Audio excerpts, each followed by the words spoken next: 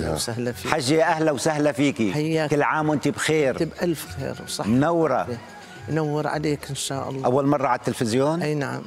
هلا حد خلص ما في تطفي لمنذر ولا شو؟ إن شاء الله. إن شاء الله. بس أمك ما بلشت؟ ست الكل كل عام وأنت بخير. وأنت بخير حبيبة وصحة عمري. وعافية يا عمري. منوريتنا ومنور إمتى عيطت عليها؟ امبارح اليوم إمتى عيطت عليها؟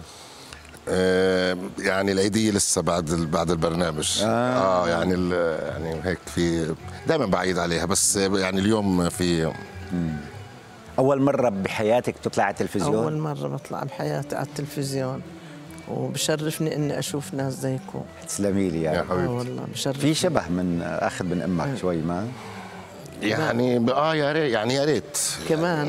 إنه أخذ آه، يعني اتاحت لنا الفرصة الآن مواسم الربح سبحان الله. حلول شهر رمضان والله. الفضيل. صحيح صحيح. والعيد الأم مع الأب لأنه الأب كمان له لازم نعمل عيد. في عيد للأب. آه. بس ما حدا بيتذكر. ما حدا مثل ما قالت الحجة 21 آذار مارس من كل عام هو يوم الأم العربية. كل عام وأمهاتكم وصحة. وضيفتنا أم منذر بكل خير. ورح نبدأ